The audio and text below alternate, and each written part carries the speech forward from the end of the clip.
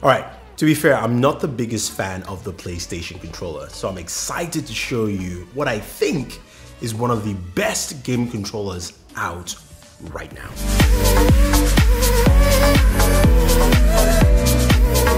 So the folks at Astro sent over the C40 TR game controller. It's their brand new game controller and I have to say, man, I've been impressed using this controller. Retails for 199. Now, this is not the packaging you're seeing. This is like a special edition they sent over. I want to thank them for that. Um, and they had a few extras there, like extra um, uh, thumbsticks, low, high, medium. So I had extra ones in terms of height if I want want that. I also got an extra uh, faceplate and extra D-pad, but uh, D-pad faces. But the controller box is really nice. It's compact. It's got like the like original Astro colors in there. And of course it comes with a hard shell carrying case which houses all the things you need. It's got a Wi-Fi dongle. We'll get to that in a second. It's got a, a removal tool so you can customize the faceplate. You can see when you spread everything out, this is everything you have in there. And of course the few extras I have. So that's not all you do have in there. Uh, and of course a micro USB cable for this. Now the controller itself, when you you feel it compared to the PlayStation 4 controller, it feels really different. It doesn't have the same style, and it has more something close to like the uh, the uh, the Pro controller on the Nintendo uh, the Nintendo Switch, or even like an Xbox controller.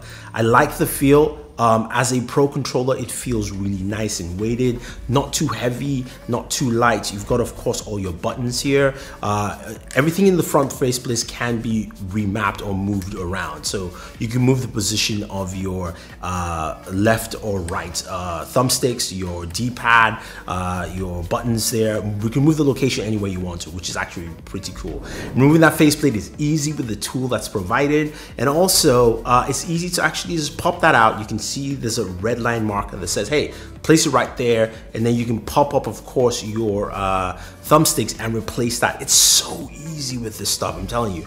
It is really, really easy. Now, of course, you've got your triggers. You've got your uh, shoulder shoulders and your triggers here. Your triggers can, of course, you've got trigger locks for those as well. So you can set that and use, especially if you're using, you know, you know, FPS game. If you're using a driving game, you might want to keep it there, which is fine. And then you've got remappable buttons at the very bottom of the controller, which is nice. And I like the feel because I my hands don't interfere with them. And doesn't matter if I grip in claw or I, you know, if I grip like this or I grip like this this, I still get to be able to hit those buttons anyway. Really nice design. And that faceplate though, like seriously, the red faceplate, that is pretty cool. Anyway, this thing is dope. Like when I say you can remap all the buttons, you can do that on the software. You can remap the button functionality from L1 to be X or vice versa, it doesn't matter. You can also remap um, your sensitivity for your thumbsticks. So you can actually have more or less pressure. So if you, you want to basically put less pressure, but also cover more distance, you can do that and vice versa. You can do that also with the triggers so that when you put a trigger lock on there, if you like to do that, you can still increase the travel distance for it as well. That is pretty cool. Plus, it's got a headphone jack, a 3.5 mm jack. You could connect to your Astro, um, say like the A40 uh, TRs, and then get some really good audio. The same quality audio as if you were plugged in directly to uh, the console because it's a Wi-Fi module here. It's not Bluetooth, it's not compressed audio, it's clean all the way through. Plus you can customize your EQs, your side tone, all that fun stuff and save it on the controller. Speaking of that, the controller has two profiles we can switch through on the fly. It's saved right on the controller, so if you're playing something like Battlefield, you can switch from driving and into say flying an aircraft where you want it to be inverted. Boom, hit the switch, you're inverted. Doesn't matter. It's that simple, it's that easy.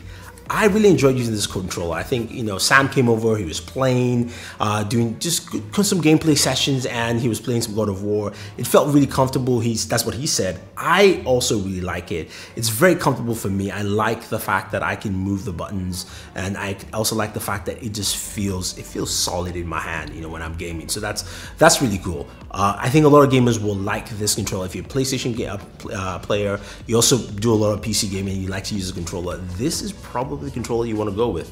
That uh, Wi-Fi dongle is marvelous, lots of distance.